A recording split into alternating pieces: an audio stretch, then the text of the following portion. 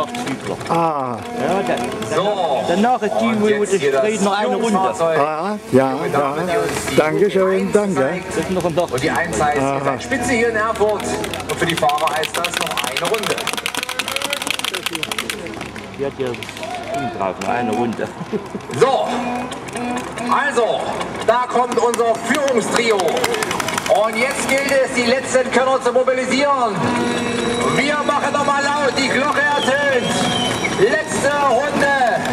Last Lap, Last Lap, letzte Runde, Ultimo Giro für die drei Spitzenreiter auf der ersten Etappe rund um die Einheit in Erfurt, 166,5 Kilometer, ja die Distanz und die letzte Runde nehmen in Angriff die drei führenden Lace Howard aus dem australischen Nationalteam, aus der österreichischen Nationalmannschaft Stefan Denifel und aus dem Rabobank Continental Team das Geburtstagskind des heutigen Tages, Steven Kreuzweig.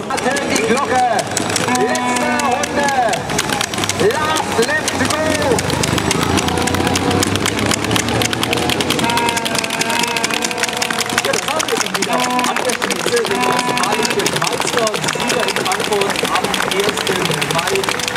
Dockridge dahinter. Aufgereiht die Fahrer aus der ukrainischen Nationalmannschaft.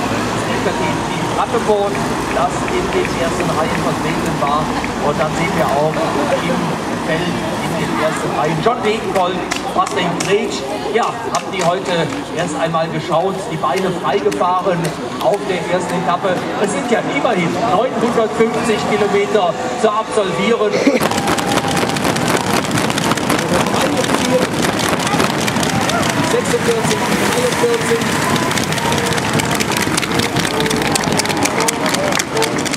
Ja, Ergebnis. Noch einmal die ersten drei Fahrer. Lace Howard, Steven Kreuzweig aus dem Rabobank-Team und Stefan Niffel. Er fährt für die österreichische Nationalmannschaft. Das sind die drei Erstplatzierten, die wir gleich zur Siegerehrung rufen. 90, 96 und 133. Von Federn Oswald, Fahrzeugteile und technischer Handel.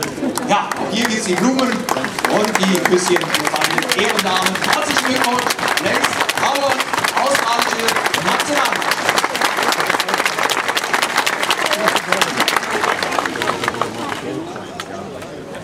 Wir kommen zur nächsten Trikot. Aber das Küsschen, Stefan, machst du lieber nicht. Machen das die Mädels, das Küsschen? Ja.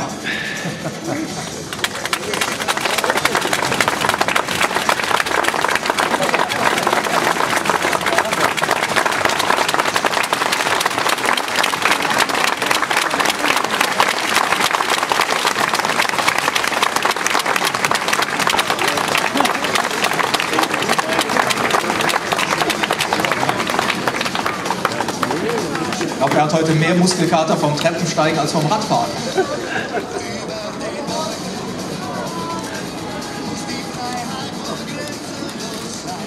Frau Müller, sie übergibt das Trikot der Zeitungsgruppe Thüringen. Und mit den besten Glückwünschen an Lace Howard, den Führenden in der Punktewertung nach der ersten Etappe und um die Heimat. Lace Howard, Australien bunten Trikot der Zeitungsgruppe Thüringen.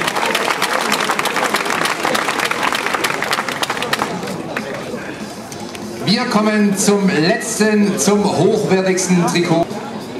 Am morgigen Tag wird das gelbe Trikot der E.ON Thüringer Energie AG tragen der Fahrer mit der Startnummer 32 vom Down Under, Leif Howard.